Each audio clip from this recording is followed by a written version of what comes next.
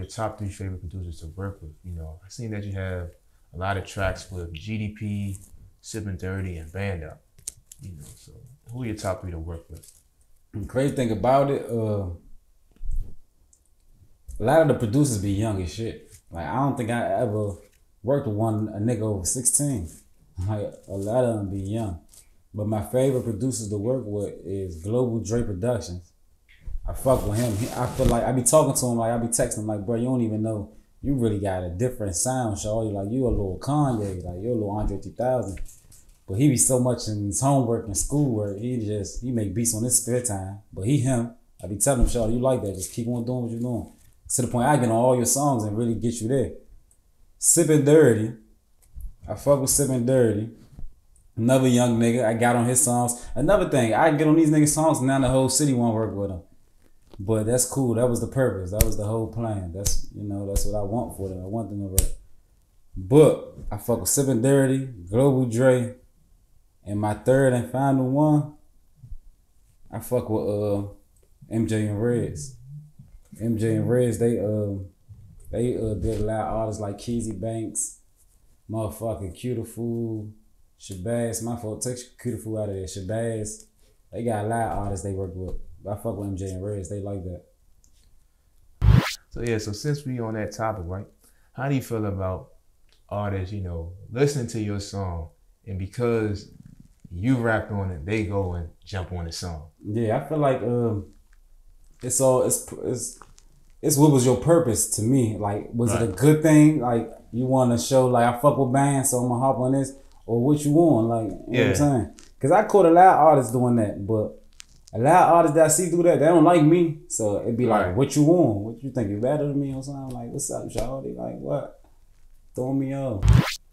How do you feel about certain artists that kind of, you know, press bloggers, producers, um, interviewers to kind of like pick a side when it comes to their street politics?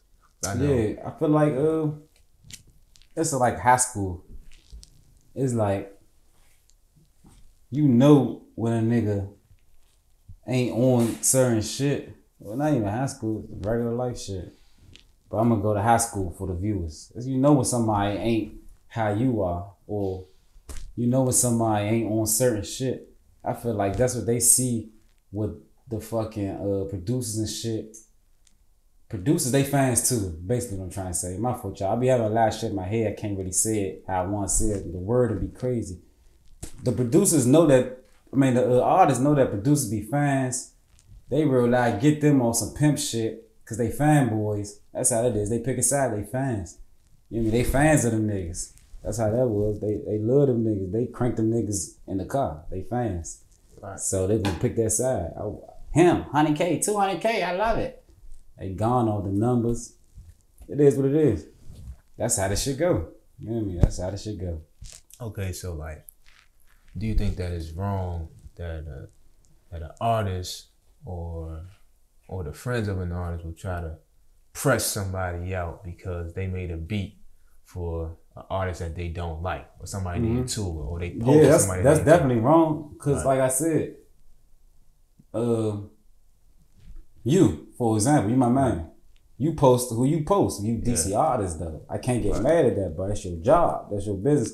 That's what give you your engagement.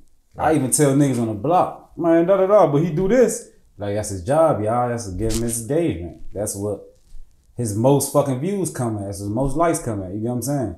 Right. I can't get mad at you, but that's me. I'm a real nigga. Some niggas ain't real. You get what I'm saying? I ain't mad that I do beats with other people. Yeah. Don't give him my beat though, bro. I ain't on that. Stop right. what you doing. Fuck y'all think this is.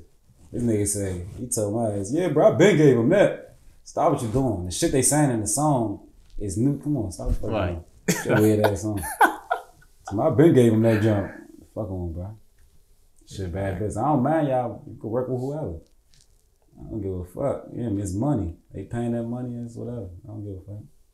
Respect, respect.